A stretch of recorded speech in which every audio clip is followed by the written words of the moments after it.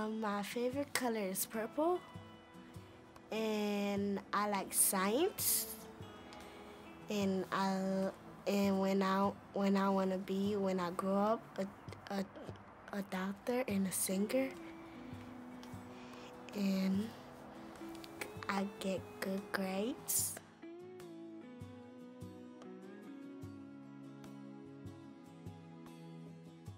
We like to watch movies and eat like eat popcorns. Sometimes we watch scary movies and after that and we watch uh, funny movies to get the scary movie out of our brain to go to sleep.